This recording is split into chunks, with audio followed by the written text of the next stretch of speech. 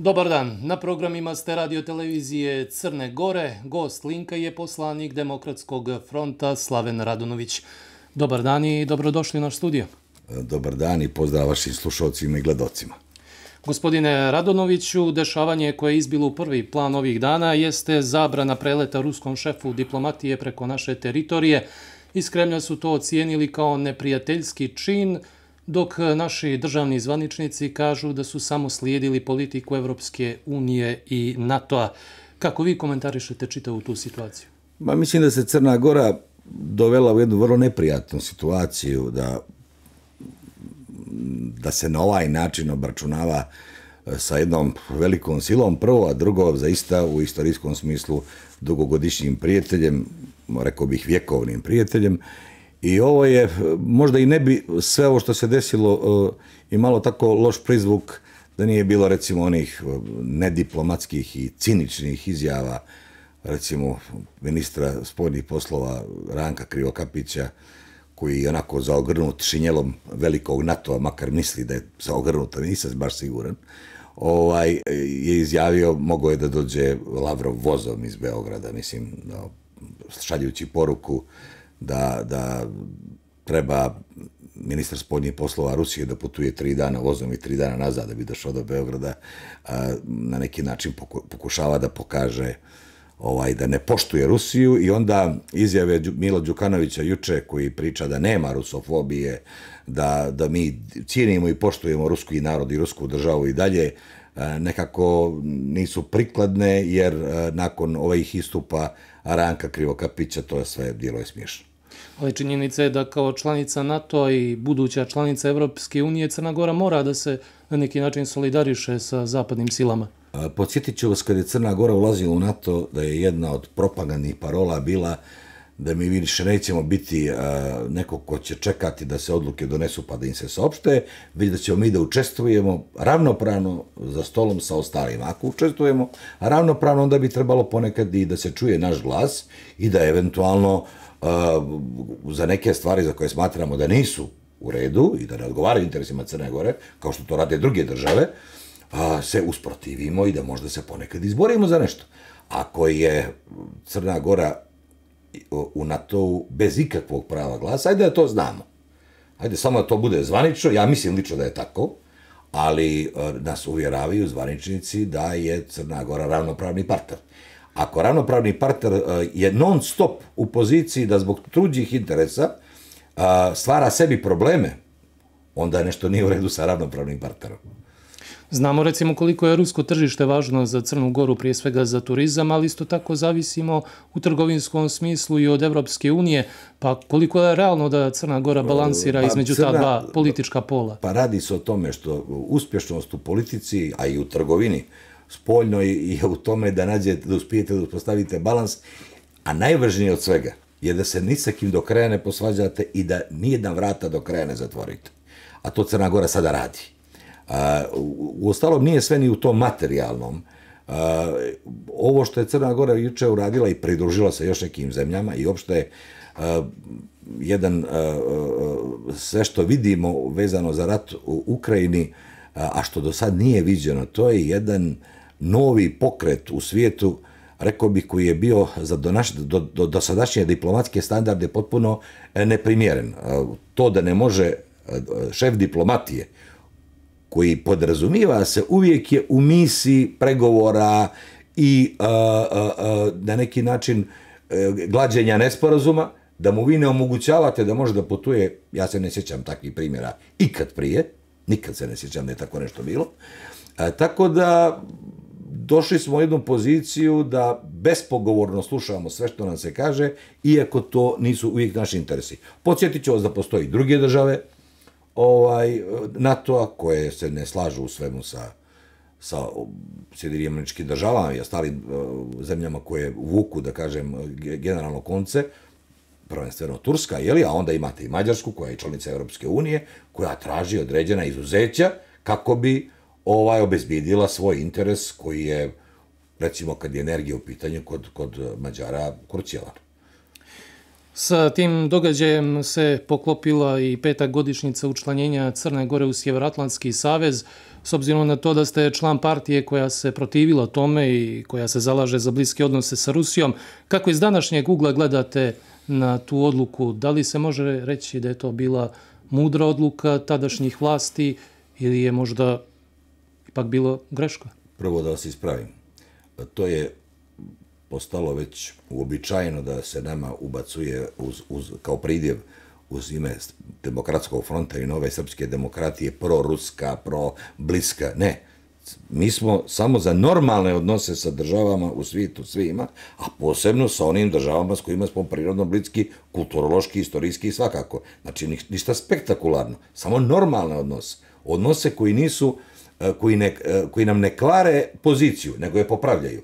A, a ovo što se desilo s NATO-om, podsjetit ću vas, mi nismo bili protiv, mi smo bili za neutralnost. Znači, ne da umjesto u NATO idemo u nekakve azijske integracije ili tako nešto, nego smo mi bili za neutralnost Crne Gore. I sigurni, stoprocentno, a i danas mislim da je bilo bolje da smo to uradili, da jedna mala država koja bi uspjela da očuva neutralnost, jer ne bi je niko porobio. Ne, u prvom momentu kad prođe ta faza, pritisaka posle i te kako možete u materijalnom smislu da naplatite svoju neutralnost. Jednostavno postanete jedan, jedan, jedan dragulj na Mediteranu u, s kojim svako hoće i u koji svako hoće da dođe. Mi smo sad izabrali stranu i više nismo uh, u mogućnosti da utičemo u pravom smislu na kretanja, a, i to kretanja koja se tiču direktno nas.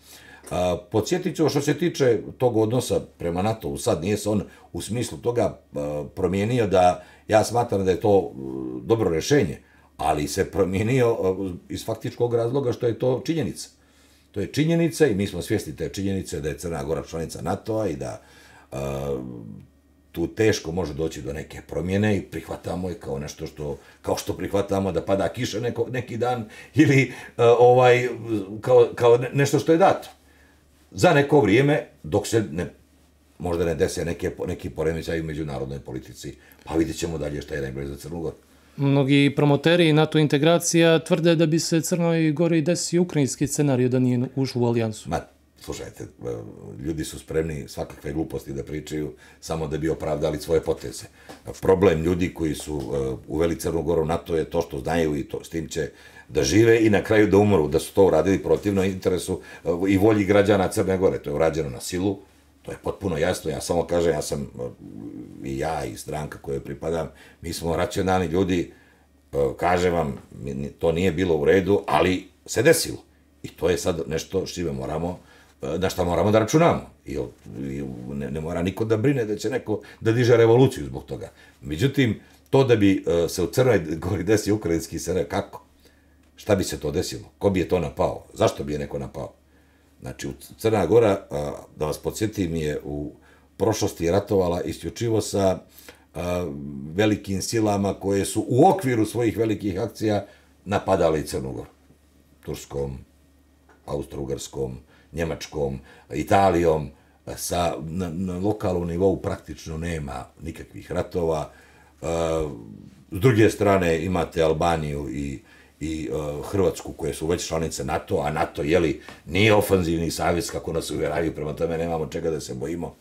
Srbija nas nikad nije napadala, ni mi Srbiju, i svi tu nema, živimo praktično isti narod i tamo i ovamo, tako da uh, ne vidim da nam je prijetila neka opasnost, to je jednostavno bila uh, politička, politički interes tadašnje elite, koja je vidimo sad ka, na koji način vladala Crnom Gorom, imala bila opterećena e, svakojakim problemima vezanim za kriminal i korupciju, koji je u jednom momentu postao vrlo problematičan za zapadne partnere i onda je Milo Đukanović kao dobar trgovac u politici uh, prodao crnogorsku neutralnost uh, zapadnim silama za svoju slobodu. To je najprostiji To je naj, najprostiji opis onoga što se desilo, a mi to sad možemo da pakujemo u oblande e, zapadne civilizacije ovoga onoga, mislim, realno je to bio razlog, da bi kupio još koju godinu uh, da, na vlasti i evo vidit ćemo kako će, da li će mu to pomoći, ja računam da neće. Još je jedna važna stvar koja se tiče međunarodnih odnosa jeste samit Otvorenog Balkana koji se održava u Ohridu. Tamo prisustuje u svojstvu posmatrača i crnogorski premijer. Gospodin Abazović je više puta izjavljivao da nema ništa protiv toga da Crna Gora jednog dana postane dio Otvorenog Balkana. Međutim, pojedini politički subjekti, čak i oni koji su konstituenti aktuelne vlade, su to figurativno rečeno dočekali na nož. Kako to tumačite? Pa to su isti oni subjekti koji su Crnu Goru na silu uvlačili u, u NATO, to su isti oni subjekti koji su uh, se sprdali sa Lavrovom, rekavši mu da ide vozom do Beograda iz Moskve, to su isti oni subjekti koji nemaju političku realnu moć i koji crpe iz, ne, iz stvaranja neprijateljstva prema e, recimo u ovom konkretnom slučaju Srbiji, nekad je Rusiji, nekad je Srpskoj pravoslavnoj crkvi i, i treba da budemo potpuno jasni ko su, koje su to adrese. Jer s druge strane, uh, oni koji se uvijek pozivaju na naše zapadne partnere, na ono što oni od nas traže, evo sad su zapadni partneri u potpunosti se složili da je otvoreni Balkan nešto što je vrlo i prihvatljivo i uh, dobro i za Crnu Goru i za region, prvenstveno to mislim na Sjedinjene američke države, a onda posle nekih početnih različitih glasova iz e, briselske administracije, sad su oni potpuno ujednačeni i svi kažu da je to e, da to uopšte, a na ni na jedan način ne može da smeta crnogorskoj budućoj integraciji u Evropsku uniju, jer samo olakšava život građanima u ovom prostoru do momenta kad se uđe u Europsku uniju. Čim budemo mi stvorili uslove da uđemo u Europsku uniju, čim mi završimo s Medenicama, Katnićima, Jovanićima i svim onim što nam je DPS ostavio kao problem, kad sa tim završimo i Crna Gora stvori uslove, lako ćemo preći u Europsku uniju. I neće nam niko od partnera iz otvorenog Balkana e, zamjeriti iz prostog razloga što će to i za njih da bude signal da mogu da očekuju da budu brzo primjeni. Drugo, e, ova ovaj sporazum i otvorenom Balkanu ne potrazumijevaju nikakve akcije koje su u suprotnosti sa agendom e, koja je, koja, koja je ispred nas vezano za pristupanje. Kome može da bude gore od toga da ne čekate po granicama ovaj kad prelazite iz jedne države u drugu, da kamioni ne stoje u kilometarskim redovima, čujete vrlo često kao neke od razloga, kako recimo ne vjeruje se iz Crne Gore fitosanitarnim i drugim inspekcijama iz zemalja u okruženju.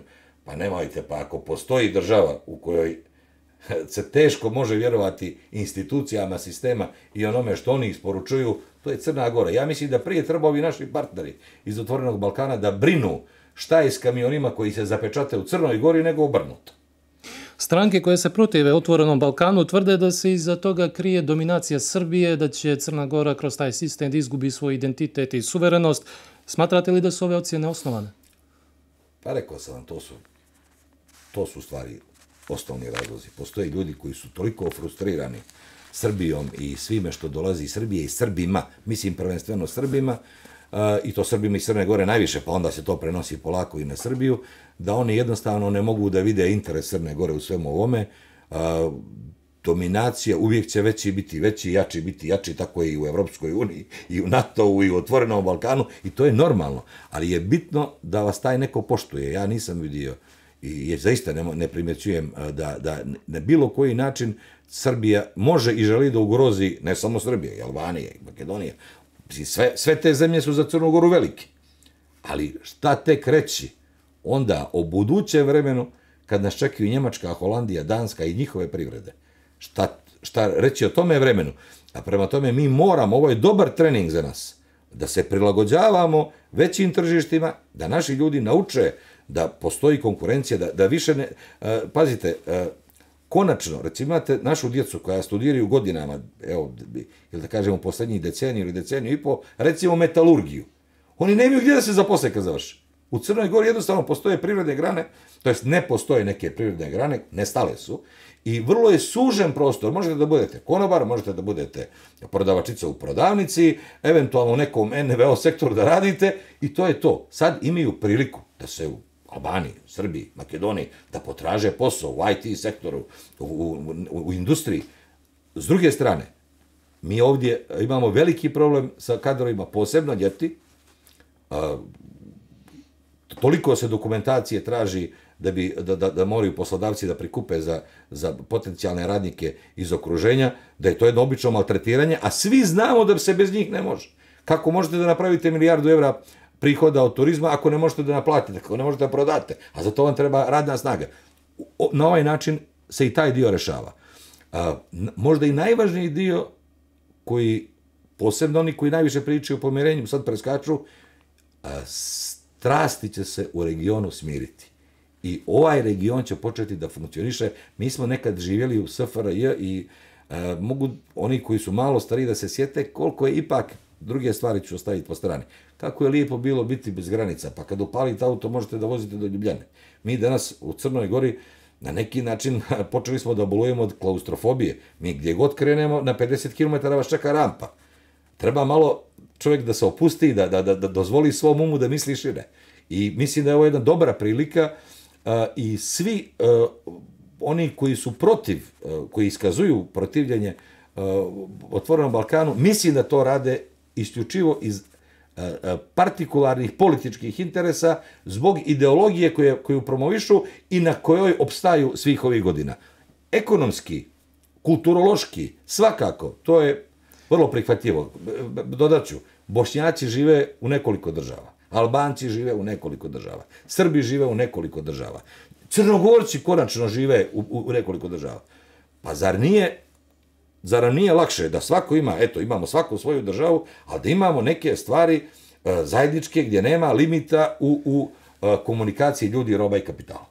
Dobro, dakle, vi ste za tu vrstu Absolutno regionalnih za. integracija. Kada... I regionalnih, ali naravno prioritet je Evropska unija. Ja bih prvi bio protiv rešenja koja nas udaljavaju od Evropske unije, ali njih nema, jer sve su ove zemlje okrenute ka, ka Evropskoj uniji i e, baš zbog toga vidite da Ja koliko sam razumio, uh, tweet Abazovića juče, uh, u Ohridu su prisutni ljudi iz Europske unije. Sad ne znam u vidu koji zvaničnika, ali je napisao da su da se u Ohridu nalaze svi naši uh, spoljno politički prioriteti. Vidio sam zastavice SAD. Varhelji i Escobar pa, bi trebali da su Pa eto, pa, pa toliko o tome. Znači, samo... Gospodine Radunoviću, kada govorimo o odnosima sa Srbijom, nezaobilazno pitanje je temeljni ugovor sa Srpskom pravoslavnom crkvom. Znamo da postoji najava našeg ministra pravde da će se sa srpskim patrijarhom to potpisati ovog mjeseca. Ukoliko se to stvarno i desi, očekujete li neke turbulencije u crnogorskoj vladi i uopšte u političkom životu? Samo ne znam zašto u vodu kažete kad su odnosi sa Srbijom u pitanju, pa onda naglašavate temeljni ugovor. Temeljni ugovor je sa Srpskom pravoslavnom crkvom, koja uh, se prostire na, ter, na širokim, širokom terenu, ima je, kao što znate, u Sjedinjim američkim državama, ima i u Argentini, ima i u Crnoj Gori, e, prema tome to nije odnos sa Srbijom, nego sa crkvom koja je tu, samo što se naravno sa poglavarom crkve potpisuju takvi sporazumi. Ne vidim da je tu ništa e, sporno i ne znam zbog čega se uopšte diglo tolika galamer, takav ugovor ili sličan je potpisan već sa drugim uh, uh, i, religioznim institucijama u Crnoj Gori, koliko sam shvatio, prevaziđene su svi problemi vezani za e, sadržaj tog temeljnog ugovora, to je jedna stvar koja treba da se obavi i da više o njoj ne pričam. Da se pozabavimo i samom manjinskom vladom, dakle, jedan od konstituenata je i SMP, vaš skorašnji koalicioni partner. Kako vidite ulogu te partije u vladi? Da li oni stvarno imaju kapaciteta da se izbore za ono što je njima bitno? Pa znate kako, ovaj, oni e, imaju veliki broj ministara, šest, i to ne možemo smatrati smatrati beznačajnom uh, stvari, jer uh, ipak na dnevnom nivou ministri uh, vode ministarstva i uh, upravljaju procesima u, u njima. A, međutim, sama činjenica da oni nemaju većinu u parlamentu, svi zajedno, e, činioci vlade, a, ipak dovodi u sumnju njihove mogućnosti a, da pobjegnu iz zagraljaja Demokratske partije socijalista, koja pokušava na svaki način svoju nemoć koju je iskazala između ostalog i ovom manjinskom podrškom, da predstavi kao pobjedu i da pošalje signal uh, svojim e, uh, podržavalcima da s njom nije gotovo i da se ona kao vraća u punom kapacitetu na vlast, ali meni koliko se čini uh, nije to baš tako osim toga što je Đukanović i dalje predsjednik države i koji na vrlo iskusan način emituje ovaj važnost, e, sve ostalo DPS je u, u, u događaja i uglavnom se svodi njegova uloga na dizanje ruku, što mislim da je dobro, jer ne daj Bože da, da, da, da opet DPS dođe u poziciju da o nekim važnim stvarima odlučuje. Uh, ovdje SMP može da odigra neku ulogu, ja se naravno protivim tome što su oni ušli u ovu vladu i sami znate da smo posebno na njih bili ljuti iz razloga što su oni sa naše liste, mi smo zajedno na izborima dobili glasove ljudi, da DPS ni u kakvoj kombinaciji ne bude ovaj e, u vlasti, ali je presudila želja gospodina Abazovića i Jure, koji e, od osnivanja imaju taj neki e, pogled na sebe elitistički, misleći da je nebitno koliko ko osvaja glasova, da su oni bogom stvoreni da vode Crnu Goru. Prvo su nam nametali uh, onu nestranačku vladu ili ekspertsku vladu, sad evo ovakvu kakva je, i oni su, čim su obezbijedili podršku e, Demokratske partije socijalista, bilo jasno da do te vlasti može da dođe. I onda potez e, SMP-a koji je sa svojih šest ministara donekle amortizovao tu, tu situaciju, e, u mnogome možda doprinosi da taj kapacitet DPS-a za ucenjivanje bude manji.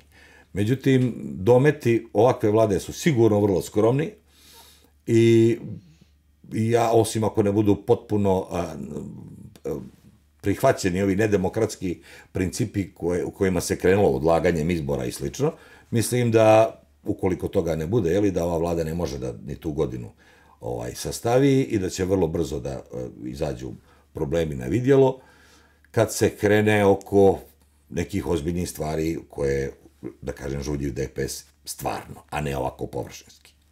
Jedan od prioriteta ove vlade, kako je pojasnio premijer, jeste i deblokada pravosuđa. Partije su već počele da ispostavljaju neke svoje zahtjeve što se tiče izbora e, čelnika sudstva i tužilaštva. Vi ste nedavno izjavili da nećete dozvoliti da se od e, te grane vlasti pravi partijska organizacija. Šta to konkretno znači i da li ćete biti spremni za neke kompromise? Pa što to konkretno znači? Znači praktično onaj sastav e, jednog krila tuškog zatvora trenutno, pritvora.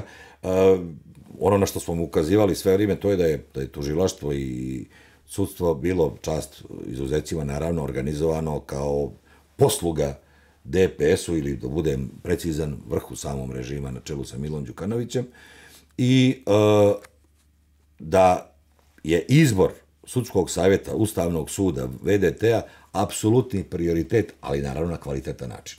Da se ne desi da opet jednom je izabrana i Vesna Medenica, izabran je bio i Stanković, Ivica, ali rezultati su bili katastrofalni. Prema tome, eh, šta mi hoćemo da damo kao doprinos, to je da DPS ne može opet da ima eh, ključnu ulogu u donošenju tih odluka i da obezbijedimo dvotrećinsku većinu, ali na način, znači kompromisi su naravno obavezni kad se dvotrećinska većina kad je neophodna dvotrećinska ili tropetinska većina, uvijek su neophodni kompromisi, ali da se makar blokira mogućnost da takvi ljudi koji bi služili bilo koje vlasti, ne samo vlasti ovaj, DPS-a da ne budu izabrani i da budu izabrani generalno ljudi koji će eh, za svakog od nas koji dignemo ruku biti makar minimum prihvatljivi kao opcija.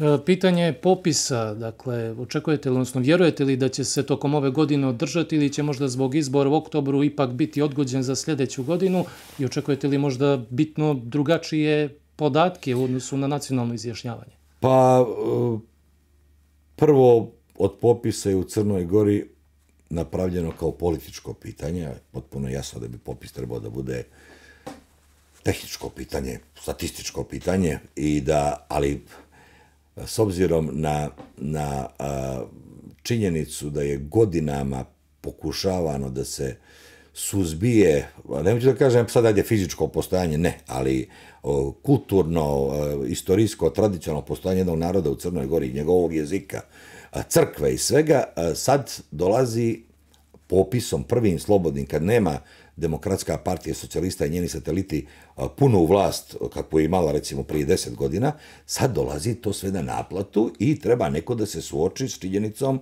da je sve vrijeme ovih deset godina radio neke stvari na silu, ukidao jezike na silu, mijenjao zastave, ne znam šta je sve radio, jer treba da po našim podacima preliminarnim, se suoče s činjenicom da su Srbi ravnopravan ili čak možda i relativno najveći narod u Crnoj Gori. I to je problem zbog čega se ne dozvoljava ovoliko vremena da se održi popis. Slično je bilo i 2001. 2001. godine, tada je popis odložen dvije godine dok nije gospodin Đukanović uspio da organizuje a, mrežu za pritisak na ljude kako bi se izjašnjavali što manje kao Srbi. A, kako vrijeme prolazi, sve bi manje trebalo to da bude bitno i sve bi manje trebalo da bude bitno a, a, ko, kojim jezikom govori, ko a, se kako piše, jer bi trebalo da su ljudi ravnopravni. Ta dugogodišnja diskriminacija je a, napravila da ovakve podjele u Crnoj Gori. Tako da do skoro znate i sami nije bilo, evo u ovoj vašoj kući niste mogli uh, čuti nekoga za koga znate da, je, da govori kao spikera, ne da kažem da je neki urednik koji je Srbin, jedan je ovdje, koliko se sjećam, preživljavao sve vrijeme, ovaj, drugi nisu, ovaj, ili e, da bude direktor škole u Crnoj Gori. Među 200 škola u Crnoj Gori, osnovnih i srednjih, nije bio ni jedan Srbin u momentu kad je gospodin Šeković završio ovaj svoje ministrovanje. E sad zamislite, kad poslije toga ministar Šeković pravi zamjerke i priča o partijskom zapošljavanju i ne znam nekakvoj segregaciji. Tako da su neke stvari blago ispravljene, s tim što moramo da vodimo računa da to ne, da ne bude inače u štetu i da a, popis bude čisto tehničko, statistička stvar koja će da nam saopšti realno stanje na terenu. Prvo, koliko ljudi živi u Crnoj Gori. To je najvažniji podatak i za izborne reforme i za mnoge druge stvari u Crnoj Gori, naravno i za planiranje, strateško vođenje države, broj jedan to, jer po svim procjenama relevantnih činioca u Crnoj Gori ne živi preko 530-540 hiljada stanovnika. Znači, kad pričamo o životu u Crnoj Gori, to je u smislu da imaju prebivalište u Crnoj Gori i da ovdje idu u školu, da se ovdje liječe i sl. To je broj jedan. Drugo, morate da dobijete vrlo veliki broj podataka vezani za, pri, za planiranje privrednog uh, E, života i za organizaciju e, onih aktivnosti koje su uobičajene u svim državama, morate također da imate podatke o starostnoj, starostnoj strukturi, e, obrazovnoj strukturi, nacionalnoj strukturi, da ne bi ljudi bili zapostavljeni, da vidimo ko najviše napušta Crnogoru. Ja lično mislim da su to bošnjaci. I mislim da treba da vidimo da, li je, da li je to stvarno tako, tako što ćemo da napravimo normalan popis. A ovo što pokušavaju ljudi danas, i to oni koji, koje smo više puta pominjali danas, koji baziraju svoju politiku na frustraciji prema Srbima i Srbiji, a, a to što su oni boje rezultata, meni je potpuno jasno. Gospodine Radonović, imamo još par minuta, pa vas molim još samo na jedno pitanje koje se tiče lokalnog nivoa. Počelo je formiranje vlasti u Beranama, po svoj prilici SMP ide u opoziciju. Da li očekujete da će ta partija dovesti u pitanje vlasti u nekim drugim opštinama sa kojima ste u koaliciji? Znate kako, ovaj, mi imamo, to je lokalna vlast, imamo različite ovaj, kombinacije kad su lokalne vlasti u pitanju čitavoj Crnegor. Znači, od toga da na Cetinju vlada SDP podrškom demokrata i Jure, a, preko toga da je sad recimo u Kotoru zadržana vlast tako što su neki poslanici DPS, odbornici DPS-a glasali za, za mm, vlast praktično koju personifikuje gospodin Jokić iz demokrata, do toga da smo zajedno sa bivšom opozicijom, jeli, u vlasti u drugim opštinama, da u, recimo SMP samostalno vlada u Plužinama, a da nikad nije želio da pusti u koaliciju recimo Demokratski front koji je druga najjača ovaj, snaga, a koji im nije te, tehnički bio potreban kao što nije ni u Berenama danas bio potreban SMP. Ja mogu da izrazim samo svoje žaljenje zbog toga što smo ipak mi s tom strankom bili u Berenama godinama u koaliciji, što je došlo do, do, do ovakvog problema, uh, Eh, vjerujte da se samo demokratski front pitao, eh, mi bi makar zvali SMP da se razgovara. Samo da se razgovara, da vidimo šta i kako. Međutim, drugi činioci su bili eh, vrlo decidni da neće da razgovaraju s njima, tako da nije bilo drugih opcija. Meni je žao baš iz tog razloga što ti drugi činioci negdje su u vlasti s DPS-om, negdje su u vlasti sa SDP-om, a evo iz nekog razloga im je SMP mnogo više smeta od ostalih. Ali eto, sad je ta vlast formirana. Uh, trajaće vjerovatno čitavi mandat, što bi bilo dobro, ukoliko naravno ne bude na kraju došlo ipak do toga da se svi lokalni izbori održavaju u jednom danu. I ne vjerujem da može da dođe do nekih ozbiljnih poremećaja u drugim lokalnim samupravama. Skoro da se siguran da neće doći ili da naši a, dugogodišnji partneri, a i sad partneri u mnogim e, a, opštinama, kad prođe ih ova prva ljutnja, shvatit će da bi bilo mnogo glupo da, da, da, da stavljaju rizik da se u nekim gradovima eventualno DPS vrati na vlast. Gospodine Radunoviću, moramo da završavamo. Vama hvala što ste se odazvali da gostujete na javnom servisu. Hvala vama na pozivu i nadam se da su vaši slušalci i gledalci bili zadovoljni odgovorima. Uvaženi gledalci i slušalci, gost emisije Link bio je poslanik Demokratskog fronta Slaven Radunović. Hvala vam na pažnji i ostanite uz naše kanale.